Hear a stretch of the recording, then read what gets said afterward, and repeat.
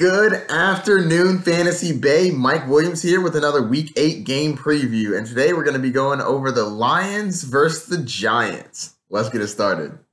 We're going to start with the Giants. Daniel Jones. Let's make this one quick. You're not starting Daniel Jones. Uh, wide receivers, keep your eye on Sterling Shepard. See if he plays. If he plays, he is a decent play. The Lions are middle of the pack against the wide receiver, allowing 22.9 fantasy points per game. Uh, let's go down to Golden Tate. Golden Tate is a wide receiver three ish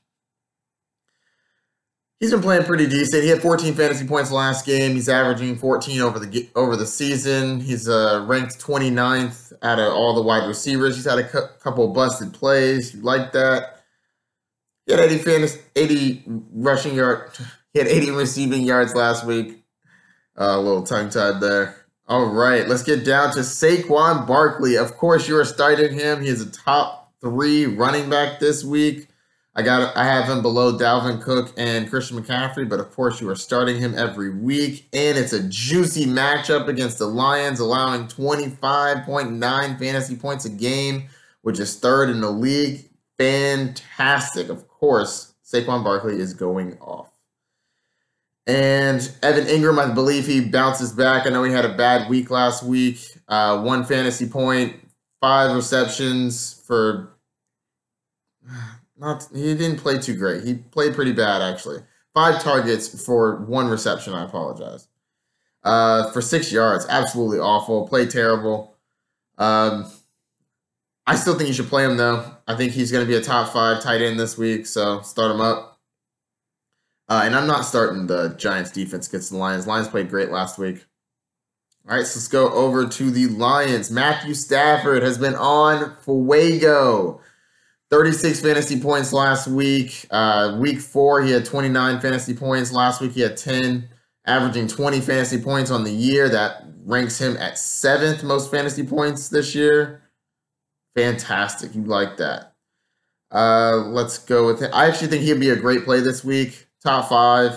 Uh, if you have Matthew Stafford, I think you're set up for a good week against the Giants.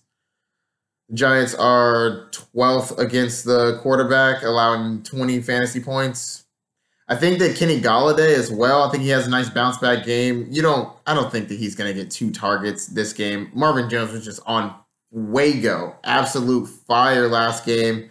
So they had to give him uh, some targets. He was obviously catching touchdowns. So I think that Kenny Golladay it gets shifted back into his uh, wheelhouse. He had two targets last game, nine the week before that, nine the week before that. He's averaging eight.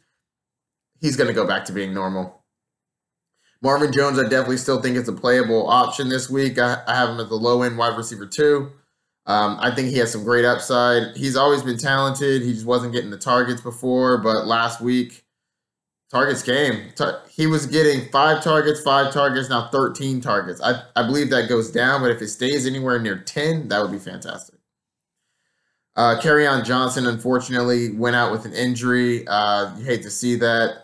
I was hoping that he'd come back, but by the time he comes back, it's going to be week 16 and you're not going to play him. So, unfortunately, I believe he's done for the year.